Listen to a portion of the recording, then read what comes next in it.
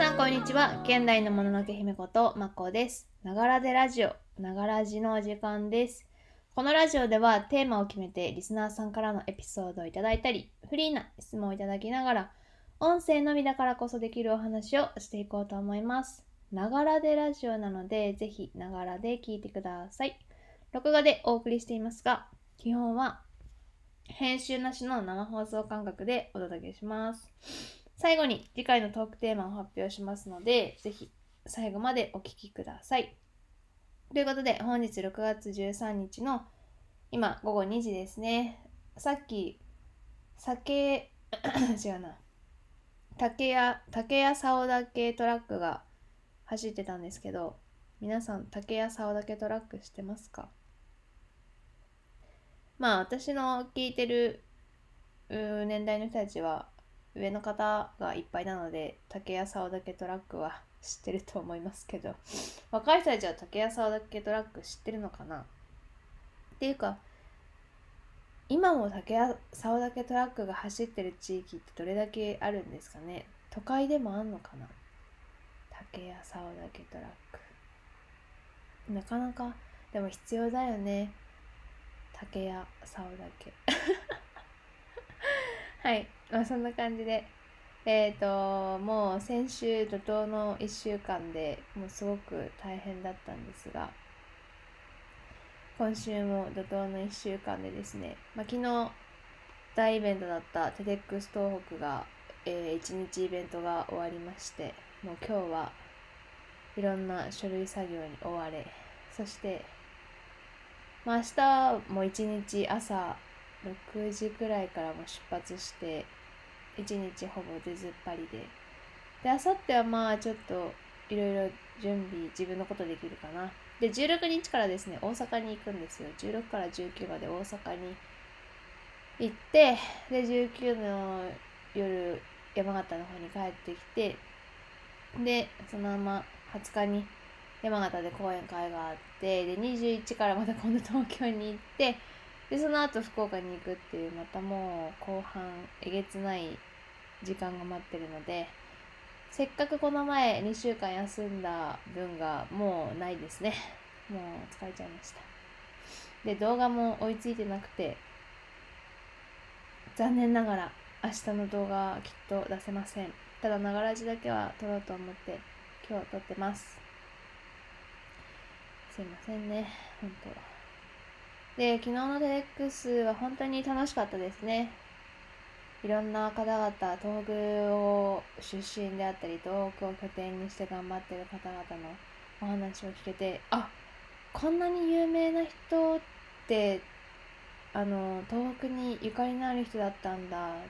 まあ、知ってる知ってるっていう方々のお話とかも聞けて、本当に楽しかったです。えー、YouTube ライブをしてまして、今日の朝見てもアーカイブがですね、まだ残っていたので、もしよかったら YouTube ライブのアーカイブ見ていただきたいですし、あとは、今後、あの、一人一人の、あの、お話でこう、編集された動画が、また、まあ、ちょっと時間はかかると思うんですけど、テレックス東北さんの YouTube とかに上がるので、それが上がったらまたシェアしたいと思います。まあ、トーク的にはですね、まあ、その場で13分好きなようにスピーチしていいですよっていう感じだったので、まあ、私は結構講演会の時とかも脳原稿でやってるので、まあ、その調子でもいいかなとは思ったんですが、でも13分しかない中で、どれだけ自分の喋りたいことを喋れるかで、ちょっと講演会とはやっぱりこう、喋り方というかね、トークの感じが違うんですよね。ちょっと弁論っぽいというか、本当にトークショーみたいな感じなので、なので今回こう原稿を書いたんですよ。一応自分でこういうの喋ろうっていうのをまとめて、時間内に収めて。そしたらそれをね、暗記しなきゃいけないなっていう感覚になったので、その暗記が久々にそういう13分、A4 用紙8枚を覚えて結構、結構、あの、集中しないとできなくて。で前日のリハーサルはもうボロボロだったんです。もう飛びに飛びに飛びまくって全然覚えれなくていやこれはダメだなと。あのー、皆さんがねボランティア団体なので皆さんボランティアでやってるんですけどそうやって1年以上かけてイベントをやろうと思って頑張ってきた人たちに対してもちょっと失礼だなと思ったので土曜日夕方リハーサル終わった後に、えー、と仙台だったので牛タンを食べて23時間がっつり集中して覚えてまあ当日本当に私の力を発揮してやりましたよ。素晴らしかった。素晴らしかったんじゃないかなと思いますけどまあ後でから自分で見返して、まあ、もう少し喋り方うまく喋れたらよかったななんて思いましたし最後の最後でちょっと大事なところで噛んじゃったりしてちょっと悔いが残る部分もありましたがでもあの全員が全員ではないですけどこうスタンディングオベーションっていうんですか？立って拍手してくださった方々もいてめちゃくちゃ面白かったです。はい他の方の話も本当に楽しかったので、ぜひ皆さん、まあ、今回のじゃなくても、その TEDx東北であったり、 TEDxっていうのはいろんな地域でやってたり、まあ、親元は TEDっていうものなんですけど、なんかそういうのが本当に勉強になるので、まだ見たことないよっていう方はぜひ見てみてください。で、今回の、えーと、トークテーマですね、ストレス発散方法、解消方法は何ですかっていうことで、コマオスタンさんは外に出かけることですってことでした。いいですよね、外気持ちいい。今の時期が一番いいですね。なんかなかなか関東の方が天気が安定しないようですけども、こう真夏の方になるとやっぱり暑暑すぎて嫌だけど、この梅雨前の少しちょっとカラッとした時期の暑さ暑さっていうのは私は結構好きなので気持ちいいなって思います。夜とかもちょっと暑いのか、ちょっと肌肌寒いのかわからないけどっていうくらいが気持ちいいですね。コウジさんは、えーと、その時落ち込んだ時やイラついた感情にあった映画を見て自分と主人公の役柄に入り込んで時を忘れるようなことをしたりあとは趣味で集めてるおもちゃのエアガンで的に向けて BB 弾を精密射撃したりして忘れるようになって、まあ、映画を見るっていうのは まあ確かにすごく気分転換になるけど、エアガンね。まあ私も小さい頃はお兄ちゃんと一緒にエアガンで遊んだりして、エアガンをこう人に向けてはダメなんですが、兄弟同士でリアルガチサバイバルゲームみたいな感じをやってたりしてましたね。まあ今はクレー射撃本物になっちゃってますけど、クレー射撃、やっぱり気持ちいいですよ、クレー射撃、こう的に当たった瞬間とか。とても気持ちいいです。きなこもちさんは、えーと、バイクを乗ってた頃は夜でも夜中でも走ってたなと。福岡の空港まで行って夜景見たりをしてて福岡の空港の夜景って結構その綺麗って話題なんですよね。今は車椅子になってからはラジコンとかあドローンやってんの？ドローン飛ばしたりお きなこもちさんも射的エアガンを撃ってるんだって。私はリハビリでいじめてくる PT さんの顔を思い浮かべて的を打ってるんだって。そんな人いるの？なんでそんなに悪い PT がいるの？もう言ってやるよ私が。何やってんだっつって。そんないじめる PT いるの？ダメねほんと。まあでもまあ福岡といえばバイクみたいなイメージは ありますね福岡にいても夜な夜なウィンウィンブインブインブインブインブインブインっていう音が聞こえます。まあ、私は結構そういう、そういう系の人もね、わかるというか気持ちがわかるって言ったらなんかおかしいけど、もよもよもよってこうコール切って走ってるバイクとか見ると、ああ、いいなって思いますね。聞いてる分にはすごく、あの、うまいなとか、下手くそだなとか、そういう風に。夏になってくるとね、鶴岡にも出てくるんですよ。海岸沿いを急車でブンブクブンブク走る旧社会の人たちとかが来たりするので楽しいなって思いますそうですねえっ、ー、とつるちゃんさんはストレス解消法は別府温泉温泉なんだ温泉えっ、ー、と脊椎人体骨化症って読むんだよね確か。これなので筋肉の交換の痛みを取るには別府温泉には車椅子で対応しているところが多くあり温泉風呂まで行けるように洗い場では車椅子が用意されています。えそうなんだ。えー、そこで温泉に浸かりストレス解消法によく行っています。車椅子の方が入浴できる案内チラシが別府駅や市役所で配られてますよあそうなの？別府？あそうなんだ。前そのきょお？2年前くらいにあのー、別府に行ったけど、まあ、温泉に入るタイミングがなかったからだけどさ知らなかったな。ただ別府って、えー、空港からのアクセスがないんだよね。バス電車がなくてほんと高速バスかレンタカーしかないのよ。あとは本当に地元に誰か知り合い地元に別府に誰か知り合いがいて迎えに来てもらうっていうくらい車椅子の人にとって空港から別府に行くルートがすごい難しい。っていうのを感じましたがまあそのね 太陽の家もありますしこうが頑張ってるなっていう部分はすごい感じますね。あとは木村さんは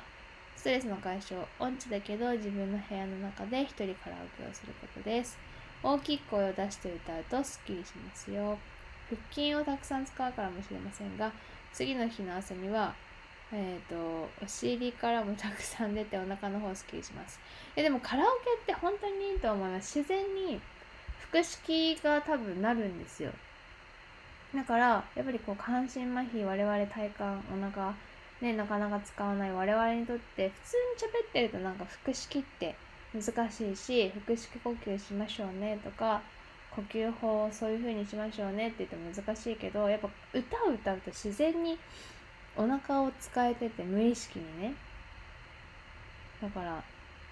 すごいリハビリになると思います。こう麻痺してやっぱお腹が使えないと声が出づらいとか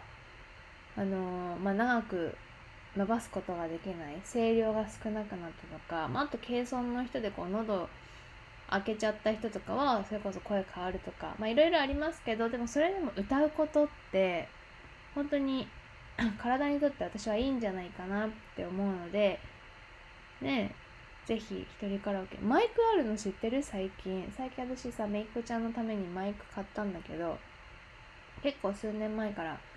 あの Bluetooth で音楽つなげてカラオケできますよっていうマイクがめちゃくちゃ良かった。本当にいいエコーも聞くしそのカラオケアプリを携帯と連動してると普通に本当に家でカラオケできるようになるからぜひおすすめしますマイクね。なおさん。えっ、ー、とすごいね。みんなながらじを楽しみにしていてくれてすごく嬉しい。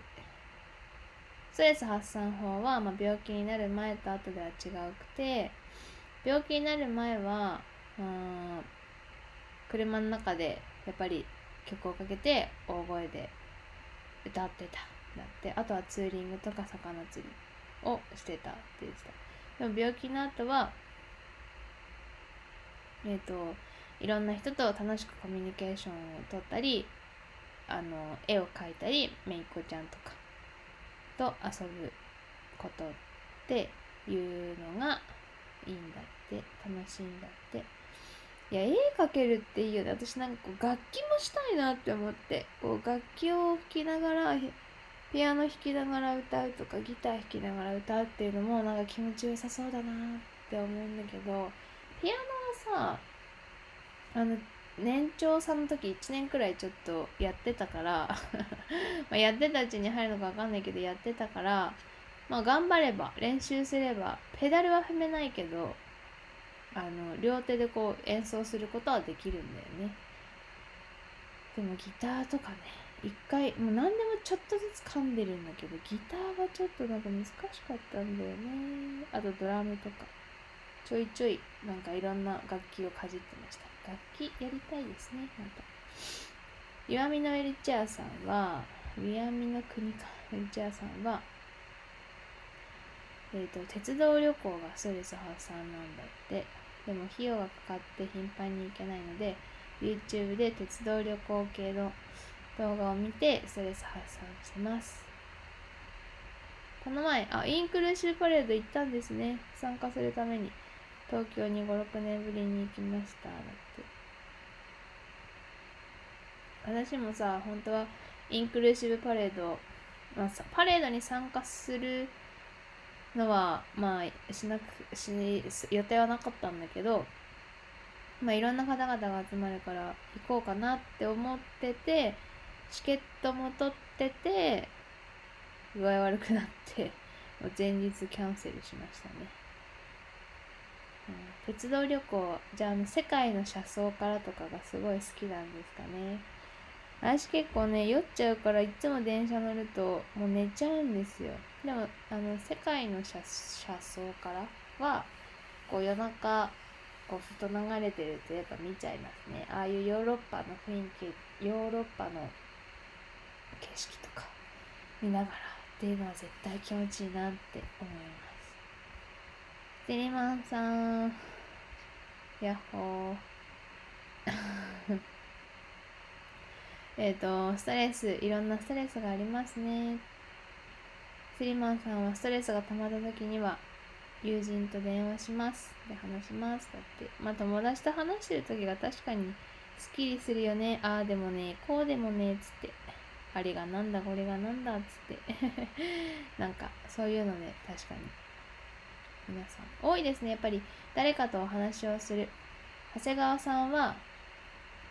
やっぱゲームとか友達と話をしていて聞いてもらうっていうのがストレス解消なんで。ゲームね。もうゲームも一時期エーペックス頑張りますとか言っといて もう全然してない。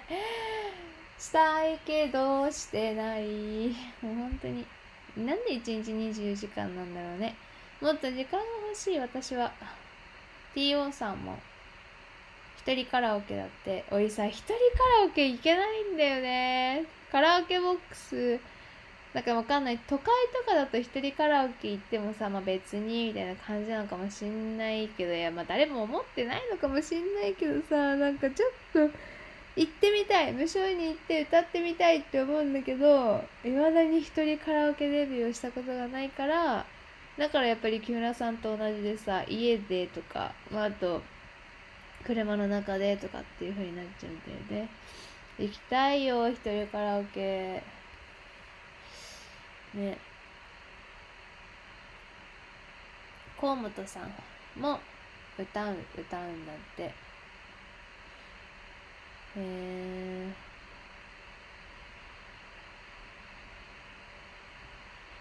でちょもう寝ちゃうけどあ泣いちゃうけど曲を聴いて泣いちゃうけど泣いたらすっきりするからよく寝れますだって。そうだよね。でも歌にもこういろいろなんか思い出があるよね。本当に歌ってすごいなって思う。当時の思い出とかわって流れてくるしそれこそ青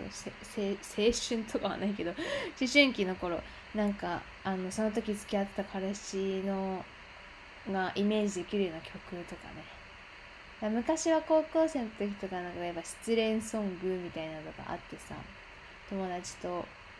友達が失恋した時にそれを歌いながら泣いてたりとか あったなって思うからやっぱ歌ってすごいですねほんと。そうかみんなカラオケ歌うことやっぱ好きなんだね。いやー。まあ私もストレスは別基本的にないんだけどやっぱ疲れがありますね。あるからでも歌歌を歌いながら疲れも吹っ飛ばして頑張りたいと思います。はい。で次週はですねあやばい。携帯が手元にない。えっ、ー、と次週は木曜日が16だから10明日 15? あそうだね。木曜日はできないんですよまた。ながらじその大阪移動の時だからできなくて20日ああ20日もできない。20日もその講演会の時だからできないな。できない。だって終わって講演会終わって帰ってきて間に合ったら取れるけど間に合わなかったら取れない気がする。なのでもう飛んで飛んでまた次の木曜日かなながらじもうダメだね6月。ダメダメです。ダメダメですが皆さん応援してください。私を。皆さんの力が。オラに元気をなんで、ほんと、元気玉を皆さんからいただけてることが私の原動力なので、いつも Twitter とかで応援してくれたりこういう風にコメントしてくれたりしてもらうことが本当に嬉しいんです。あんまり感情を私は表に出しませんが本当に嬉しいのでよろしくお願いします、まあ、動画もあの編集頑張ってアップしますのでちょっと6月は復活しながら雑にはなってますがよろしくお願いします。はいということでちょっとやらなきゃいけない仕事もいっぱいあるので今日はこの辺で終わりたいと思いますが次回のトークテーマあんゃー。何するかね。えー、っと次回のトークテーマ何すっかね なんか喋りたいことないの？みんな。喋りたいこと。やっぱね、あ、やってもらいたい企画募集していい？もうネタないとか言ってるけど、いつも皆さんがさ、ここに来てくれて、聞いてくれて、書いてくれる人って本当にいつも見てくれてる。いや、みんなも見てくれてるんだけど、すごい積極的な皆さんなので、皆さんがこれ見たい、あれ見たい、別に本当に車椅子とか関係なく、あのもっとこうみんなが普段見てるような YouTuber さんのような企画も私はやりたいなって思ってるのであの企画募集していいですか？お願いしますよ。ということでじゃあ次回ちょっと飽きますが私の YouTube でやってほしいネタお待ちしてます。どんどん書いてください。はいということで、えー、お時間になりましたのでまた次回お会いしましょう。バイバーイ。Eu vou